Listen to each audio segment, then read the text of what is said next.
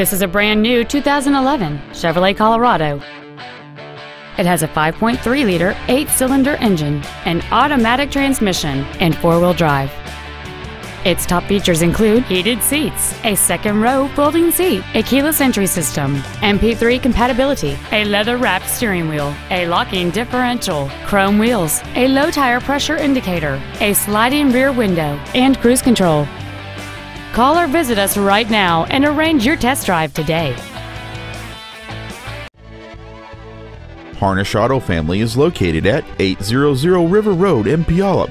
Our goal is to exceed all of your expectations to ensure that you'll return for future visits.